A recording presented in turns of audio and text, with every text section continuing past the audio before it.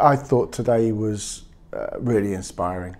Um, every time I attend something like this, it makes me reflect on how often you just rush at things and you do things in a way that you've always done it. And when you take the time and the trouble to use the techniques, how much more impactful you are.